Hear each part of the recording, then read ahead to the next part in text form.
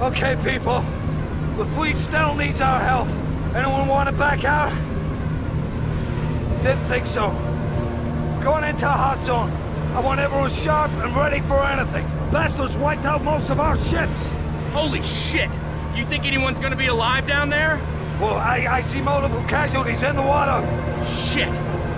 Poor bastards. We better not be the only ones responding to the distress call. We ain't got room for all of them. We're doing what we can. Taking us down.